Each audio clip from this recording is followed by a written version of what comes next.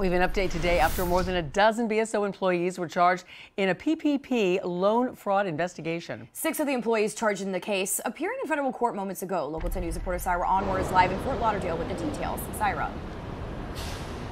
So five of those individuals were arraigned today. A sixth had her arraignment rescheduled to next week. They all appeared here at the federal courthouse in Fort Lauderdale before the same judge to hear their charges. We'll take you to video now. More than a dozen Broward Sheriff's Office employees are suspected of fraudulently applying for and receiving Paycheck Protection Program or PPP loans. So the loans were established during the pandemic to help businesses pay their workers amid all of the restrictions. So 17 employees who work as either sworn law enforcement, BSO deputies, or jailers, they face federal charges.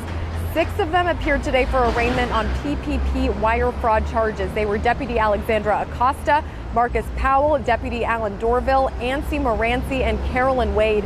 Those five all entered not guilty pleas and requested a trial by jury. Katrina Brown, she had her arraignment reset to next week so she could secure an attorney.